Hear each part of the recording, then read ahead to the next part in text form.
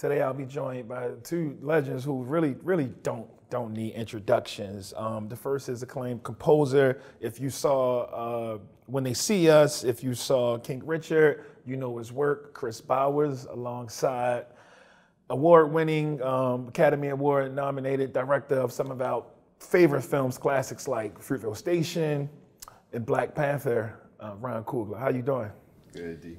Hanging, man. Congratulations um, on the film. The first thing, when I first saw the write-up and description, I was like, didn't Young Jeezy redo the national anthem? Like, oh, my president is like, no. And I was like, that I'm like, no, nah, we, we had a, we, you know, we, we had a different level. Um, and it, I think it's such an important film um, because of how sensitive people are around the subject matter of the song. So um, I, we should just start off by just talking about um, what does the song actually mean to you? Uh, as far as the song, I think the song means to me just like it's the beginning of a conversation. It's like it's uh, uh, it's actually a conversation in song form. You know, each person getting their moment to speak and share their story, um, and then finding a way to you know have some sort of common ground essentially. You know, and I think that uh, as far as it being like a starting point, it's really this whole project is really about the process more than anything right. else. And like, you know, it, we could have made whatever song we were going to make, but the process was the most like impactful thing, and that that feels like, you know, it carries through the song. But because the process was so important, it really is our hope that people take the song and continue to do that work to it, like continue to bring their story to it, their sound to it. Um, and uh, yeah, I want to invite as many people to the table as possible. Yeah. I mean, yeah, for me, I, I, I came involved with the, with the film through our, our filmmaker Pete Nicks, uh, who had a relationship with Kris. Um, we, we founded a company called Proximity Media. Uh, it's me and my wife Zinzi Coogler, our friend Sev Ohanian, um, and, and along along on the journey with us later on, we came, came Pete Nicks, who runs nonfiction for us. Right. Um, Ludwig Göransson and Archie Davis, who run music for us. And um, we, we looking to tell stories um, that bring audiences in closer proximity to subject matter that's often overlooked, and, and specifically through eventized entertainment. And, and, Pete had this idea when he, when he, when he came aboard, um, and we loved it, man, because it was it's, it's ambitious. And, and, what the film is is, is, is taking a, a, look at the national anthem, um, you know, you know, for, for a few minutes, kind of just studying and breaking it down, like where the music came from, um, its origins, how it became uh, the song that we that we play at graduations and before sporting events and what have you. Right. But, but what's great about it is, you know, that's only the first you know five, five minutes or so of the film. Um, you know, he finds these, these incredible musicians, Chris Bowers and and, and Dahi, and, and, they go on a, on a road trip on a mission to uh, answer the question, what would an anthem sound like if it was written today? You know, um, and then they make the song. You know, all all, all in, the, in the film, uh, and the song that they make I think is, is, is just absolutely beautiful, man. And, and, I think it's gonna be a utility for people to, to, to use and go to, you know, um, um, and whatever rituals they want to use it in, you know. Did you guys grow up with the, the Black National Anthem? I did. Yeah, same. Yeah, yeah lift every voice and sing. Yeah, for sure. Yeah. Yeah, I, you know, it's crazy because um, like my high school, um, I went to Dunbar High School in Baltimore. We didn't have any white students, and I didn't really know like. Um, I mean, we know the Star Spangled Banner, but we didn't like, we never sang it. You know what I'm saying? And then when you get older and you study a little bit and you understand why, like, um, you, you're your revolutionary uncle. You always got that one uncle, like, you know, bandana and shit. Like, nah, don't stand up for that.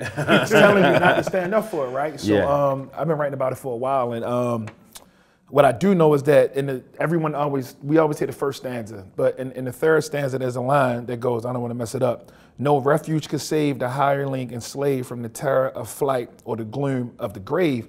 And that was Francis Scott Key's message to slaves that wanted to fight with the Brits because they would they would promise freedom yeah. if, if, if, they would have if they would have won the war. So yeah. um, my question is um,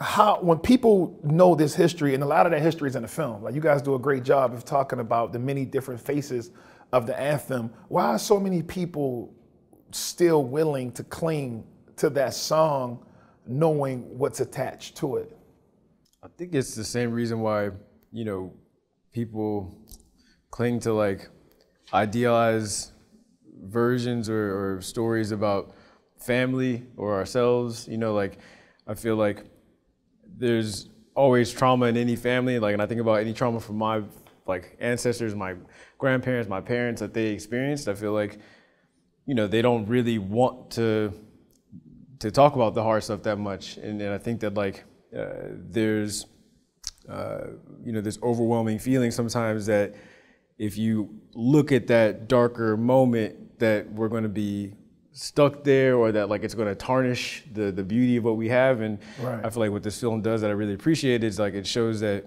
looking at that darker thing only makes what we have now more beautiful or what we can have more beautiful you know and so I think that like eh, people that want to ignore any of the darkness are really just trying to like hold on to the facade of, of something that's really um, to them feels like safe or or whatever it might be but but I think that you know through exploring conversation and, and like being open about those things like we try to explore in this film is really just about how you can hold in balance the darkness with like an optimistic uh, look toward the future and, and you know have some sort of beauty out of that pain Absolutely.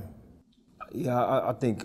I mean, I, I think Kris spoke about it beautifully, um, and it's hard to say, right? Because like this whole concept, man.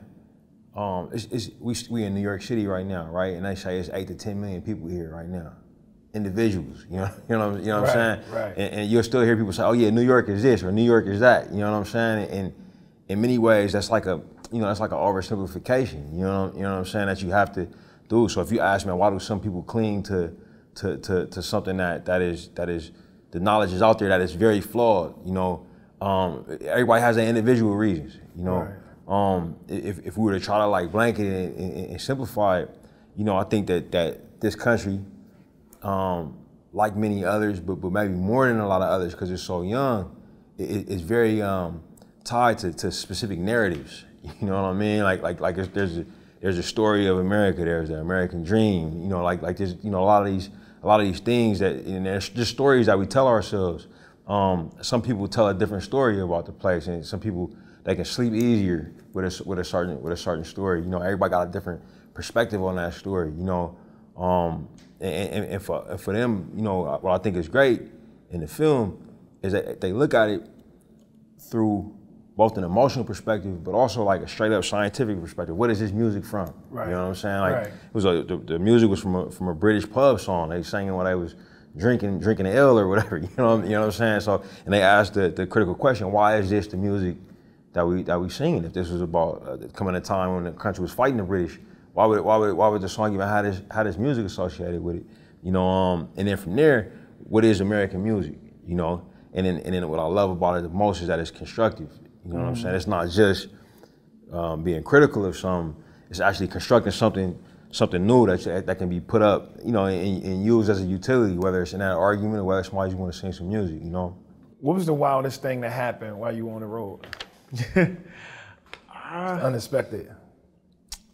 You know, it's funny. I was actually expecting more like craziness to happen. I think that like I was like mentally preparing myself to like have experiences that that you know um, uh, shocked me, but like there wasn't that much. I mean, honestly, I feel like it wasn't a wild experience. I think that something that was really interesting to me, we had conversations with people outside of the film that just like happened to be like you know cleaning up at the at the venue or Right. like opening the venue for the night after we finished uh, our filming, and a couple of them talked about the anthem and like I remember in, in Detroit there was a woman that came into the club afterward, and she's like, "Oh, I love that you guys are doing this thing about." the national anthem. Like, I love that song. It means so much to me. And Dahi was like, you know, like, yeah, and not, and not everybody feels that way. And she was like, I just don't understand that. I just don't really get it. And and we asked her, like, you know, well, what, why do you love that song? And she was like, well, it just reminds me of my family. It makes me think of like my home. It makes me think of these things. And it was like, that's so wild. So wild. It's Yeah, like a wild ass. It's, it's like wild that like that has nothing to do with the song. It's like it's this this symbol now for her for like she hears this thing and she thinks of these other things. Like she's projected these feelings she has about her family and about all these things that she loves deeply onto this song. So now she has that that same love that she has for her family for her song. And it's not even a good song. like yo, the song is not. read it, read it. It's not a good song. Yeah. Like, and then in the, in the beauty of it, you know, you guys created something like that was far superior. We'll, we'll get to that. But like, I mean, so I, I would have asked it like, so you telling me you think Francis Scott Key is better than Lil Baby? Like, the fuck out of here. Like, yo, evolution. Like, what, like, like, yo, what we've done. You know what I'm it's, saying? It's, it's, Like- it's, it's ritual, bro. Ritual, Like it's yeah. ritual. It's like ritual. like pe- you know, she, what, what I'd imagine is, you know, um, she probably participated in some rituals with that, that involved that song with with other things. Like maybe her family took her to ball games. You know what I'm saying? And Yeah. when she hears a song, she thinks about she next to her dad with a hot dog at the stadium or whatever, or or um, you know, or, or she liked she liked a specific school where she learned it at. You know, you know what I'm saying? Like I think like like rituals a lot of times can associate like like you know it, it's, it's, it's legal now. You know what I'm saying? Everywhere. I, I never was a big weed smoker, but five on it come on. You know what I'm saying? And I think, got of- five, and I'm back. like I'm like I'm I'm back. You know what I'm saying? Like back in the bay, I'm back with my with my family. I'm back as a kid.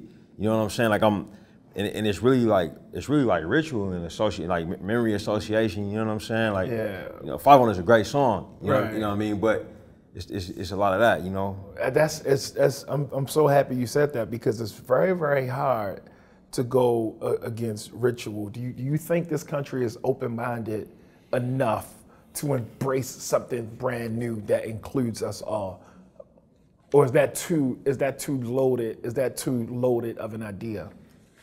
I think the impossibility behind it is really that we don't have the time or space maybe to have the conversations that you know we even have in this film. Like in this film, you have some of those songwriters that feel very differently about the country, feel very differently about the anthem, and if it weren't for this film, probably would never have been friends or talked to each other. Hmm. And it's because of like putting them into the same space and allowing them to like express their feelings about things. And like, you know, going back to that woman in the anthem, it's like it makes sense if she hears this on the surface level or hears somebody say on the surface level, like, I don't like that song.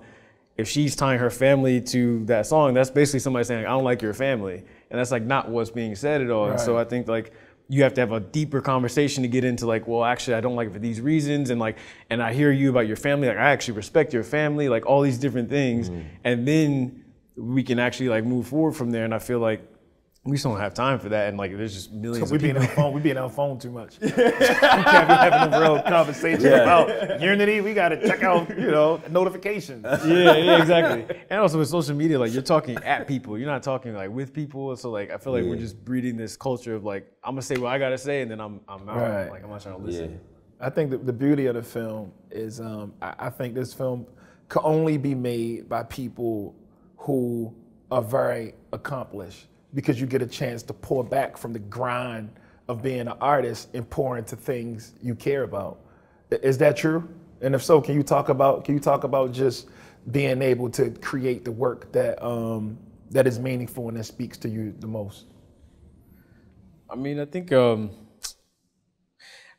I, I definitely went into this like feel, being feeling like I was a student. Like I think that like that was what's fun for me is like um, I'll never forget. I did this show once with a uh, an indie rock band, and like at the time I was like a jazz student, and like I was like, oh, like it's easy music, and I showed up and like they all had like sounds dialed in, and like they knew the music already, and I was like really out of place, and like I didn't know how to get the sound. Like I just was recognizing immediately that I looked down on this music, and I was the one that was like ill prepared for the situation, and I feel like, and that happened when I was like maybe like 20 or something like that. And so I feel like ever since then, I've always looked for moments where like I'm gonna have that beginner's mindset of like I don't really know, and like you know we go on this road trip and there's some genres that I actually don't really know very much about, and there's some that I I maybe knew a little bit more about, but in each of those spaces, I just wanted to like ask questions and learn, and I feel like that that was um, uh, fun for me. So I, I definitely feel like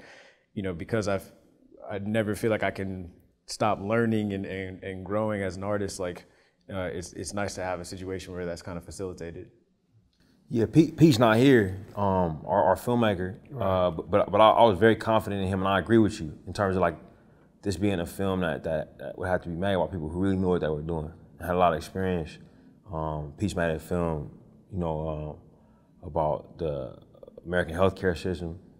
Uh, he made a film about police reform when he embedded himself with with uh, you know a really controversial police force um, at a time when like a lot of scandals uh, erupted. You know what I mean? Right. Um, made a film about public education. You know, he, he he's he's got a lot of chops in being in a lot of difficult environments. You know what I mean? Like um, being able to allow people to express uh, conflicting opinions, and, and the film still holding it. You know, um, so so the film was in good hands, and it, and it actually like goes down easy when you watch it. You don't think about like like how how crazy of an idea it is. You know what I mean? There's tension there in terms of like, are they gonna get it done?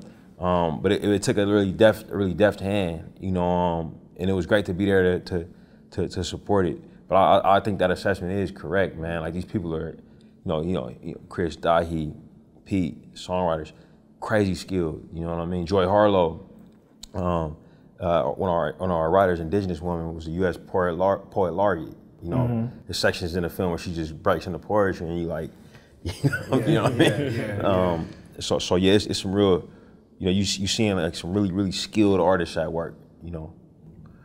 Did you guys change your position on the original anthem while working on the film? Was there any like like eye opening type of situation where like you found yourself wanted to like stand uh, up at a baseball game and nah, go like nah, nah, man. I mean, I'm a you know, I'm a black man from Oakland, approaching right. my 40s. You know what I'm saying? Like like like it, it's not a it's not a national symbol of this country that I don't have a complicated relationship with, you know. Um, but that that that said, that don't make me like not American, you know. You know what I mean? Like like like so. I, I think it's, you know, it's something I wrestle with since I was since I was born. You know, I don't feel like it's yours. It don't feel like it's mine. I'm yeah. you from Oakland. I'm from I'm from Baltimore. Yeah. You from LA. LA. I don't feel like it's mine. Yeah. It's not. You know. It's, yeah. I don't feel like it's mine. But you created something. You guys created something where we can uh, feel like we're playing a part, and I think that was special. Um, uh, can we? Are we gonna be seeing more documentaries since we're dealing with the strike, or? Oh, that's a great question, man. Um, obviously, the Writers Guild is uh, in the midst of a, of a, massive strike right now. I'm a member of that union. Um, obviously, expressing solidarity with all the, all the writers, and yeah, this this I'm, I'm here able to talk to you now because this work did not originate with, with WGA work. You know, right. it's, it's nonfiction. Um, had just had just been a television show or a film, I wouldn't you know be here talking to you.